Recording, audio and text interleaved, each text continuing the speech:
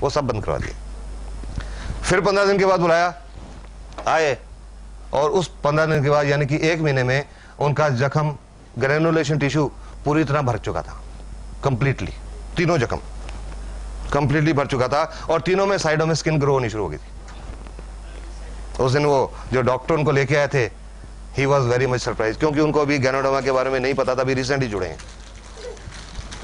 और डॉक्टर साहब इतना हेल्दी ग्रेनुलेशन टिश्यू एलोपैथी के तीस साल में नहीं देखा। जो इतना हेल्दी ग्रेनुलेशन टिश्यू था वो। फिर उनको पंद्रह दिन के बाद बुलाया और अभी पिछले हफ़्ते दिखा के गए हैं। तीनों जख्मों में नियरली ट्वेंटी परसेंट स्किन भी कवर हो चुकी है। और उनकी टाम में आज सेंसेशन भी वापस आने लगी। एंड ब्लड का फ्लो भी शुरू हो चुका। ऐसा तीस साल में नहीं देखा था। और उस दिन आदमी रो पड़ा। कि सर लगता है अब मेरी टांग बच जाएगी। उसकी भी ज़िंदगी बदल गई, इसकी वजह से। लोगों की ज़िंदगी बदलती है, इसकी वजह से बदलती है। पाँच, छह दिन पहले एक आदमी आया मेरे पास, लुधियाना के पास है, गाँव से। कोई पौने दो महीने पहले फ़ोन पे बात हुई थी मेरे से, उनको डायबिटीज़ थी। डोज पूछी, एक डीएक्शन से साथ जुड़ा हुआ था आदमी था, क्या डोज देनी है? जी, मैंने डोज बता दी। पाँच, छह दिन पहले वो आदमी, बुज़ुर्ग आदमी है अराउंड बासठ, तिरसठ साल के। वो आए, जेब से फ़ोटो निकाली, सर, मेरी फ़ोटो देखिए। मैंने सोचा, मैंने कहा मैं तो पेशेंट देखता हूँ, मैं फ़ोटो नहीं देखता। नहीं सर, ये फ़ोटो देखिए। देखी फ़ोटो? मैंने कहा, क्या है इसमें? आप कहते मेरी तरफ़ देखिए। मैंने चेहरा देखा चेहरा देखा, फिर से मेरी नज़र फ़ोटो पे गई, एकदम से। क्या कारण था? उस फ़ोटो में, वो तीन महीने पुरानी फ़ोटो थी। उस फ़ोटो में उनकी एक बाई आँख बंद थी। और अब वो बाई आँख खुली हुई थी।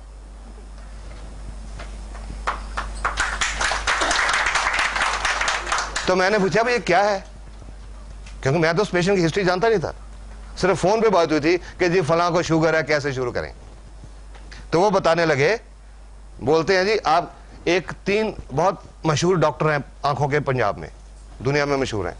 उन्होंने तीनों का नाम लेके कहा कि आपकी इस दवाई ने वो तीनों डॉक्टरों को फेल कर दिया।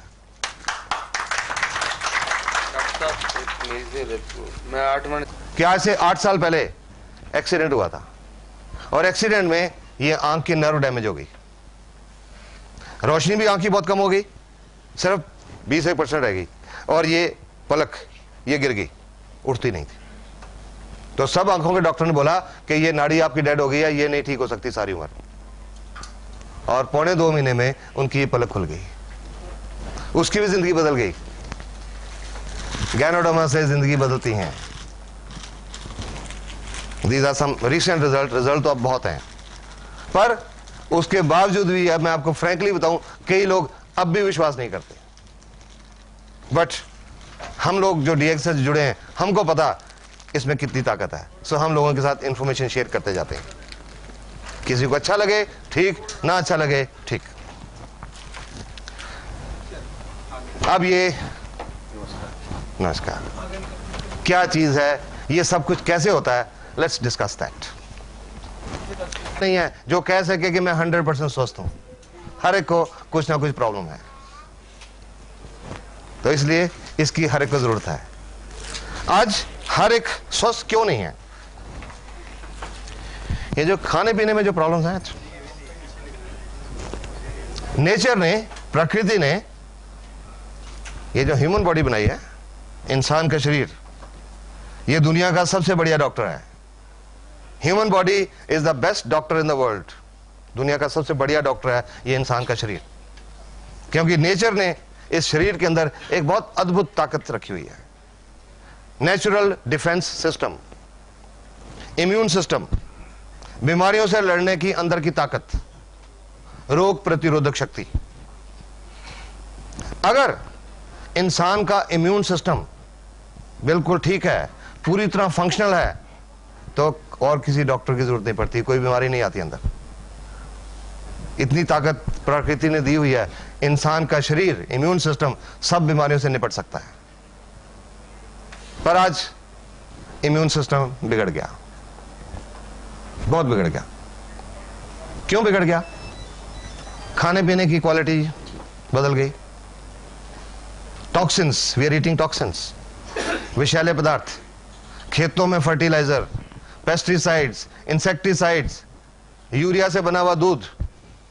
दूध के लिए जानवरों को टीके। और ये जो सब केमिकल्स हैं, ये उस खुराक के रास्ते, उस दूध के रास्ते हमारे अंदर जा रहे हैं। ठीक बात है ना? ये हमारे अंदर जा रहे हैं।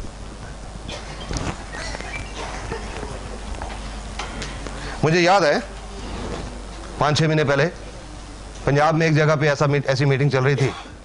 और उस मीटिंग में एक पंजाब किसान यूनियन के एक प्रधान है प्रेसिडेंट वो बैठे हुए थे। अभी मीटिंग शुरू होने में दो चार मिनट थे तो वो मेरे साथ बैठे थे। मैंने उनके साथ थोड़ी डिस्कशन करनी शुरू कर दी। मैंने कहा जी आप बुज़ुर्ग हैं। आप सियासत में भी हैं पॉलिटिक्स में भी हैं। बहुत आप आपकी जानकारी बहुत होगी। आप क्या मेरे को बता सकते हैं कि आज बहुत बीमारियाँ बहुत बढ़ रही हैं? वो क्यों बढ़ रही हैं? और वो पंजाब किसान यूनियन के प्रेसिडेंट, वो बोलते हैं जी, ये जो खेतों में हम जहर डाल रहे हैं फर्टिलाइजर्स खादें। तो मैंने कहा, आपको इस बात का पता है? कहते हैं हाँ जी, पता है। तो मैंने कहा, आप तो प्रेसिडेंट हो पंजाब किसान यूनियन के तो इसके बारे में आप कुछ स्टेप्स क्यों नहीं लेते? और जी, मैंने बात की थी, मैंने फलान चीफ मिनिस्टर से बात की थी, फलान चीफ मिनिस्टर से बात की थी, वो सुनते ही नहीं। ये फर्टिलाइज़र बनाने की नई नई फैक्ट्रियाँ लगाते जाते हैं। तो मैंने उनको बोला कि वो फैक्ट्रियाँ इसलिए लगाते हैं क्योंकि किसान उनको मांग रहा है। जब किसान कहेगा हमने खेतों में यह जहर यूज़ नहीं करना तो वो फैक्ट्रियाँ कहाँ से लगेंगी? अपने बंद हो जाएँगी बिकॉज़ डिमांड आ रही है, उससे पैदावार ज़्यादा होती है, पैसा ज़्यादा आता है। पर अल्टीमेटली वो जो जो ज़मीन है, उसकी उपजाऊ शक्ति भी खत्म हो जाती है और सेहत तो खराब होती होती है। उसके बावजूद यूज़ हो रहे हैं। सॉफ्ट ड्रिंक्स के बारे में आप सब लोग ने सुना होगा। साल, डेढ़ साल पहले बहुत रिपोर्ट्स आई थी सॉफ्ट ड्रिंक्स में कितने इंसेक्टिसाइड और कितने पेस्टिसाइड पाए गए। मेरे पास एक रिपोर्ट है। Pesticides in soft drinks hard facts ये एक मेडिकल जर्नल की रिपोर्ट है। मेडिकल जर्नल पंजाब का एक मेडिकल जर्नल है। Current medical journal north zone, अगस्त 2003 ये डॉक्टर्स की एक रिसर्च रिपोर्ट है। सॉफ्ट ड्रिंक से देखा गया है कि सॉफ्ट ड्रिंक्स इंसान के शरीर को एक तरीके से नहीं, कई तरीकों से हानि पहुंचाते हैं। हमारे शरीर में एक लेवल होता है पीएच लेवल नॉर्मल होता है सात।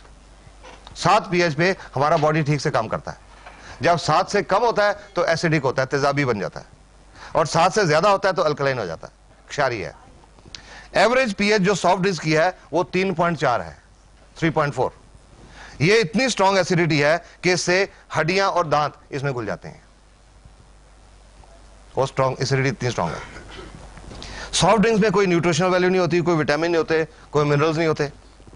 और फिर, उसमें जो हम लोग पीते हैं सॉफ्ट ड्रिंक्स को शेल्फ से उठा के तो पीते नहीं। सबसे ठंडा। जब बाज़ार से खरीदने भी जाते हैं, कि वो जो फ्रीजर में सबसे ठंडा पड़ा हुआ वो देना। ठंडा मतलब कोका कोला वो देना। और इतने कम तापमान पे some temperature something like zero zero degree Celsius के करीब, जब हम सॉफ्ट ड्रिंक्स पीते हैं तो उससे हमारे पेट के अंदर जो एंजाइम है, वो काम करना छोड़ जाते हैं।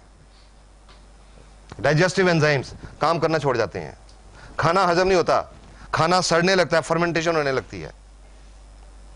जब फर्मेंटेशन होने लगती है तो उससे कई बदबूदार गैसेस बनती हैं और कई तरह के टॉक्सिन बनते हैं, विषैले पदार्थ। और वो टॉक्सिन हमारे अंतरियों में एब्जॉर्ब हो जाते हैं, पूरे खून के रस्ते